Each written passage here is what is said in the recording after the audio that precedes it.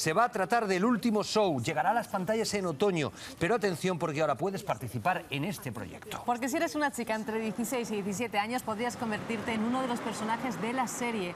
Las interesadas deben enviar sus datos personales y sus fotos a la web del casting elultimoshow.es. De hecho, estas chicas que están viendo son las primeras aspirantes a formar parte del elenco de la nueva serie de Aragón TV. Quédense con su cara porque igual una de ellas se convertirá en Claudia, la nieta del personaje central del último show. A y a todas las que se presenten al casting les deseamos desde Aragón en abierto toda la suerte del mundo.